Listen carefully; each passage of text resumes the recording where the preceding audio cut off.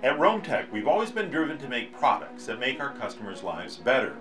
To think creatively, that's important to us. For example, we were the first company to make a plenum-rated mixer amplifier that you could legally put above your ceiling where plenum requirements needed to be met. This was a big deal for our customers. Many of them don't have the kind of room that it takes to put in a larger sound system. So putting the amplifier and speakers in the ceiling makes a lot of sense for them. But there are other advantages too. When you put an amplifier up in the ceiling, you almost completely eliminate the risk for theft or tampering. So when we went to design our PMA 350H, our new amplifier, we knew we wanted it to be plenum rated. In addition, for us, that meant building once again with high temperature components.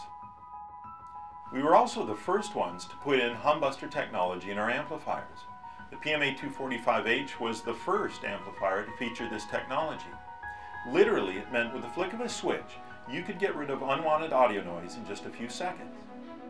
This was an industry first.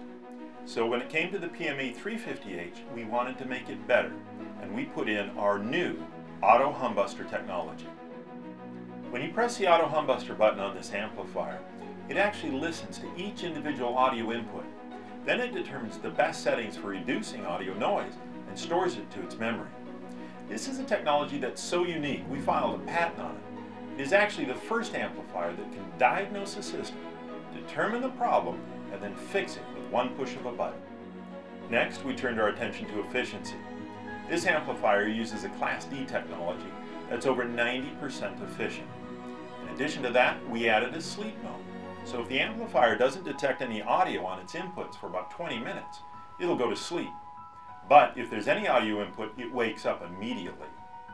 This dramatically reduces power consumption over the life of the product.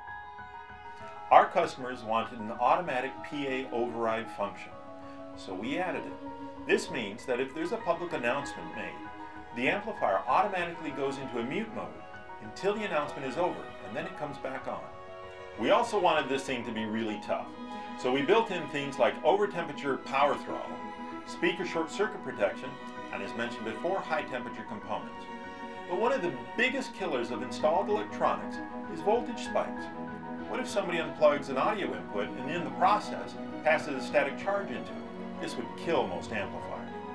All three of our audio inputs surge protected to 10,000 volts. Our PA sense input surge protected to 10,000 volts. And our wall volume control jack surge protected to 10,000 volts. When we designed the new PMA 350H amplifier, we didn't just want an amplifier that sounded great. We wanted a game changer. We wanted something that made our customers' lives better.